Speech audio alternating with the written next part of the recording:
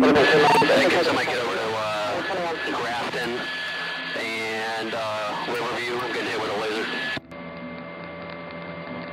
Headed that way.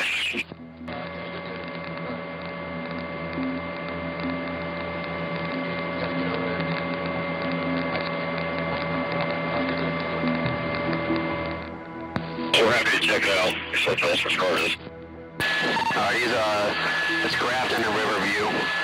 He's uh, sitting at the light right now, or at the little stop sign. I'll try and get you a better description here in a second.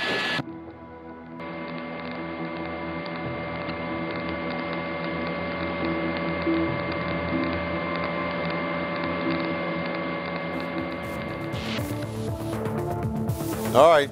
Amazing job done by the aviation unit, but how dangerous is all this for pilots? We hear about this from time to time. Donald Schweitzer.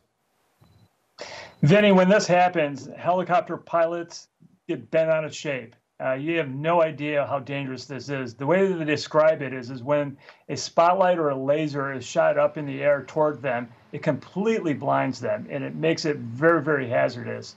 In most cases, from what I understand, uh, people don't know how dangerous it is. So perhaps law enforcement ought to maybe you know educate the public uh, better with regard to this because I think most people are just playing and they don't realize that they're endangering the lives of these people that are flying.